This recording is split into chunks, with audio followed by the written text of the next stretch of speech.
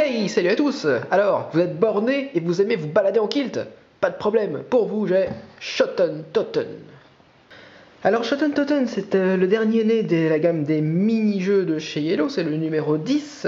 Euh, c'est une réédition, une réédition d'un très vieux jeu de Rainer Knizia qu'on ne présente plus, c'est un très grand classique du jeu à deux joueurs. Et c'est pour ça qu'il m'intéresse énormément. Donc dans ce jeu, vous avez euh, l'histoire, c'est qu'il y a deux clans, vous vous affrontez, vous êtes l'un en face de l'autre, et entre vous, vous avez ces euh, neuf bornes, il y a neuf petites tuiles qui représentent la frontière, et vous allez essayer d'agrandir votre frontière parce que vous avez un esprit conquérant. vous allez agrandir cette frontière grâce à vos guerriers qui sont de 6 euh, couleurs différentes. Donc vous avez des cartes qui vont de 1 à 9 dans 6 couleurs différentes, ce qui nous fait 54 cartes avec pour chaque numéro euh, une illustration différente, donc avec euh, euh, un guerrier qui paraît un petit peu faible pour le 1, et puis ça augmente au fur et à mesure des numéros. Et donc c'est Jib qui a refait ces, illustrations, et je les trouve quand même assez réussies, elles sont vraiment jolies. Le jeu de Totten se déroule d'une manière absolument simplissime, puisqu'à chaque tour, donc au début on a toujours 6 cartes en main, vous allez juste poser une carte, où vous voulez sur une borne qui n'a pas encore été revendiquée, et vous piochez une carte et c'est à votre adversaire de jouer. Votre tour continue, vous piochez, vous jouez une carte, vous pouvez la jouer n'importe où, vous pouvez en jouer deux au même endroit, euh, sur n'importe laquelle des neuf bornes. Euh, la seule chose, c'est que quand vous arrivez à trois cartes sur une borne, vous ne pouvez plus en rajouter sur cette borne-là, c'est le maximum. Et une fois que votre adversaire aura lui aussi atteint trois cartes de l'autre côté, alors c'est pas le premier qui atteint trois cartes, c'est pas une course de vitesse. Mais une fois que chacun des deux joueurs a trois cartes de chaque côté, on va regarder quelle est la plus forte combinaison et celui qui a la plus forte combinaison va pouvoir remporter cette borne et il va la placer de son côté et on ne pourra plus ajouter de cartes sur cette borne ni d'un côté ni de l'autre. Et donc le jeu se poursuit de cette manière jusqu'à ce que euh, trois bornes adjacentes aient été revendiquées ou jusqu'à ce que cinq bornes euh, sur les neuf aient été revendiquées par un joueur. Alors regardons un instant les combinaisons possibles euh, dans ce jeu. Donc vous avez, euh, chaque joueur possède une petite tête de jeu.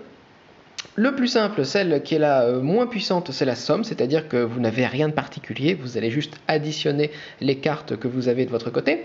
celle qui est un petit peu plus forte que ça, c'est la suite, donc trois cartes qui se suivent. Alors quand vous les posez, vous n'êtes pas obligé de les poser de manière à former directement la suite. Vous pouvez poser, par exemple, si j'ai 6, 7, 8, je peux poser d'abord le 8, après le 6, et plus tard j'arrive à avoir le 7, je peux le poser après, c'est pas un problème.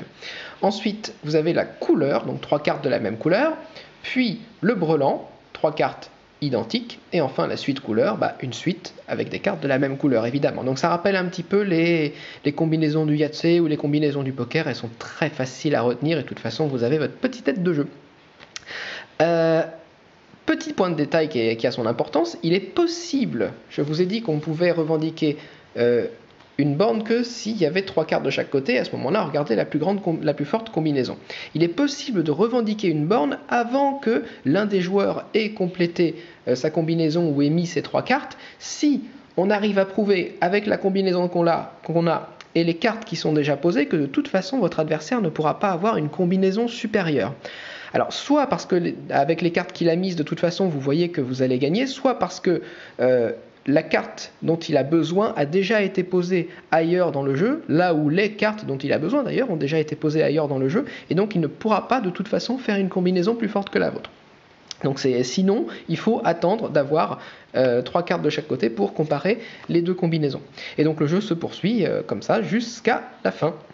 Et enfin, petite variante de Shotten Totten qui arrive avec cette nouvelle version de chez Yellow, vous pouvez euh, introduire dans votre jeu les cartes tactiques, donc qui ont un dos différent des autres cartes normales, et si vous les introduisez, vous avez euh, cette fois deux paquets de cartes, donc il n'y en a que 10, il n'y en a pas tant que ça non plus, vous avez deux paquets de cartes, et euh, vous allez avoir 7 cartes en main, et au moment où vous jouez une carte et que vous devez repiocher une carte, vous pouvez choisir de piocher une carte tactique ou une carte dans le paquet normal.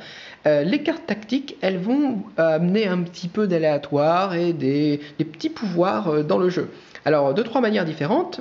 La première manière, ça va être en... avec des cartes qui sont des sortes de jokers. Voilà, en plus, on voit une espèce de joker euh, à la Batman euh, en mode écossais. C'est vraiment très très sympa. Donc, ces deux cartes-là peuvent remplacer n'importe quelle carte quand vous les jouez euh, sur une combinaison. Cette carte-là peut remplacer un 1, un 2 ou un 3 de la couleur que vous voulez. Cette carte-là peut remplacer un 7 de la couleur que vous voulez. deuxième manière d'utiliser ces cartes tactiques, vous avez ces deux cartes-là que vous allez placer sur des bornes. Celle-là va faire que euh, s'appelle Colin Maillard. Euh, pour revendiquer la, borne où se trouve Colin Maillard, vous allez uniquement additionner les, cartes qui s'y trouvent, donc en fait comme si c'était euh, deux sommes qui s'opposaient. Et cette carte-là, vous allez devoir jouer une carte supplémentaire, donc il va y avoir quatre cartes de chaque côté, ça s'appelle le combat de boue, pour, pour revendiquer la borne. Et enfin, il y en a quatre autres qui se jouent un petit peu comme des, pouvoirs à coup unique. Celui-là, c'est le chasseur de tête. Donc vous allez piocher trois cartes. Et parmi toutes les cartes que vous avez en main, vous allez euh, pouvoir euh, en remettre deux. Vous allez les garder, vous allez en mettre deux sous le paquet. Donc ça permet de renouveler un petit peu votre, votre jeu. Euh, celui-là d'abord, le stratège vous permet de choisir une carte sur une borne qui n'est pas encore revendiquée et de la déplacer sur une borne qui n'est pas encore revendiquée de votre côté de la frontière. La banshee, vous pouvez détruire une carte sur une borne non revendiquée euh, du côté de l'ennemi. Et le, traître, vous pouvez choisir une carte sur une borne non revendiquée du côté de l'ennemi et la placer chez vous sur une borne non revendiquée. Donc on voit l'écossais avec le, caleçon et le, drapeau d'Angleterre. Voilà, donc ça c'était les cartes tactiques qui amènent un petit peu d'aléatoire et une manière un petit peu différente de jouer. Et vous ne pouvez pas non plus euh, enchaîner tout le temps les cartes tactiques parce que vous ne pouvez jouer à tout moment dans la partie qu'une seule euh, carte supplémentaire par rapport à votre adversaire. C'est-à-dire que si là vous avez déjà joué deux cartes tactiques et que votre adversaire n'en a joué qu'une, vous ne pouvez pas en jouer une troisième. Il faut que vous attendiez qu'il ait lui-même joué une deuxième carte tactique. Donc c'est pas non plus euh, quelque chose qu'on. Puis il n'y en a que 10, il faut faire attention. Vous ne pouvez pas avoir deux jokers avec vous, donc c'est pas non plus le pouvoir ultime, mais ça peut être intéressant et permettre quelques petits retournements au cours de la partie. Voilà, c'était donc Shoten Totten, un grand classique du jeu de société à deux. Bon bah vous avez tout de suite vu, là c'est des règles extrêmement simples, vous voyez si ça vous plaît ou si ça vous plaît pas. Euh, c'est euh, moi ça me plaît bien, c'est expliqué très rapidement, c'est tactique, c'est rigolo.